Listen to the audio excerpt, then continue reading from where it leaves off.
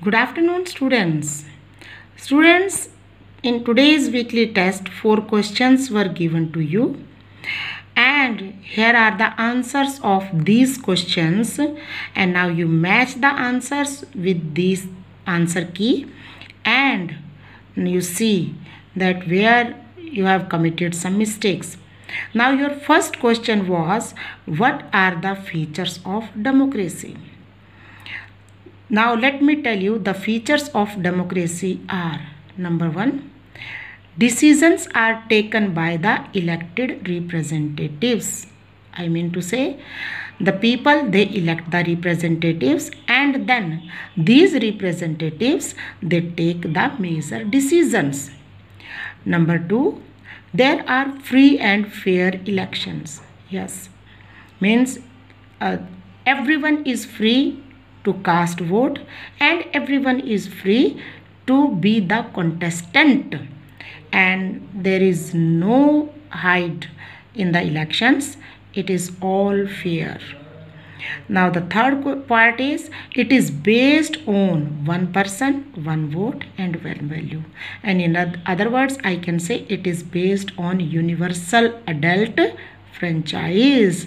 In india it is always there one person will cast one vote and its value will be one only. And this opportunity is available to all the people on an equal basis whether you he belong to any of the caste religion or any category so this is all one person one vote and one value. And last point is this choice. Which choice? One person one vote one value. It leads to a government which is limited by basic rules means which is bind or binding by basic rules of the constitution and citizens right. So these are the features of democracy. Now your second question was what are the arguments in favor of democracy? Now let me tell you the arguments in favor of democracy. The first is it improves the quality of decision making i mean to say that if we have selected or elected some wrong representatives. So in next election we can improve our mistake and we can have the quality leaders. The second it provides a method to deal with differences and conflicts. Means in a democracy we have the judiciary. So if we have any differences or conflict we can go to judiciary and we can just fulfill or we can deal the differences. Third, it enhances the dignity of citizens. Earlier we read it is based on one person, one vote and one value. So this this just a basic rule applies here and that is why it enhances the dignity of citizen. Fourth, it allows us to correct our own mistake. If we have elected wrong leaders, we can correct our own mistakes and we can change them in the next election. And fifth it is better form of government. I'm not saying it is best or it is good but it is better than other form of government because it is more accountable form of government. Means responsible form of government. So these are the points which are in favor of democracy. Now there may be some drawbacks some weaknesses in democracy. So our next question was what are the arguments against democracy?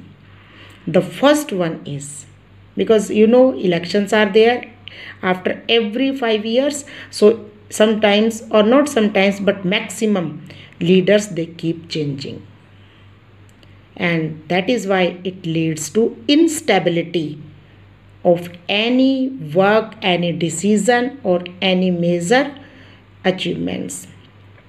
So, because democracy is all about political competition, competition means elections, and it's a just job of power play that who has the power, he who wins only. So, there is no scope for morality. And third many people have to be consulted. Yes this is one of the main drawback of democracy that if there is one king he will take decision then and there itself. But because in democracy so many leaders they have to be consulted so it leads to delay to make any decision to take any decision or to start any project. So this is also one of the drawback of democracy. Now number 4 it leads to corruption. Of course sometimes you must have seen that the leaders they just distribute things to just get the votes from the people. That's why it leads to corruption because it is based on electoral competition. And the last one ordinary people they do not know what is good for them so they should not decide anything. So these are the arguments against democracy. Now your la last question was what is the definition of democracy or what is democracy? And the simple one, it is a form of government in which the rulers are elected by the people. Or according to Abraham Lincoln, it is a government which is, which is of the people, by the people and for the people. So this is all your solution of weekly test. I and I hope that you must have done according to this. So this is all for today. Thank you.